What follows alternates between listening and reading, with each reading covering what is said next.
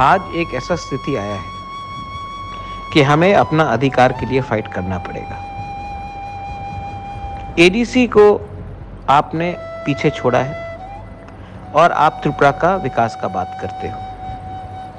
सब लोग बोल रहे हैं कि एडीसी सबका साथ सबका विकास।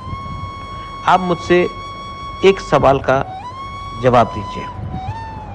99 परसेंट ने बोला है कि कॉक बरोक रोमन स्क्रिप्ट में होना चाहिए। तभी भी स्टेट गवर्नमेंट का ओपिनियन है कि कॉक बरोक रोमन स्क्रिप्ट में नहीं होना चाहिए। क्यों? क्योंकि ये लोग नहीं चाहते हैं कि हम इंग्लिश लैंग्वेज सीखें।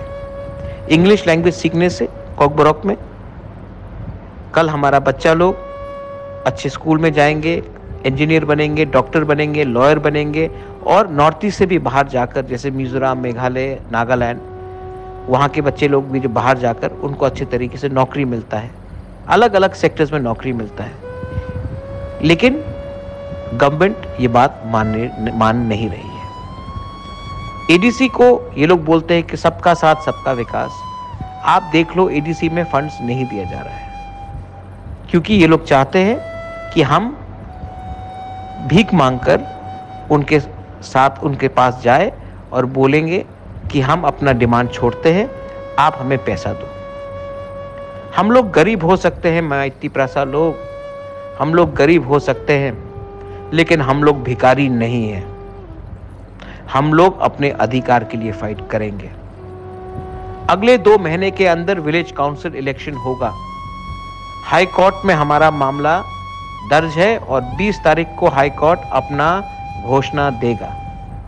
और मैं अपने पूरे तिपरा मोथा को बोलने वाला हूँ कि आप लोग रेडी हो जाओ विलेज काउंसिल इलेक्शन में, जिसने हमें एक साल से गरीब रखा है, जिसने हमें काम करने का मौका नहीं दिया है, दो महीने के अंदर इलेक्शन होगा।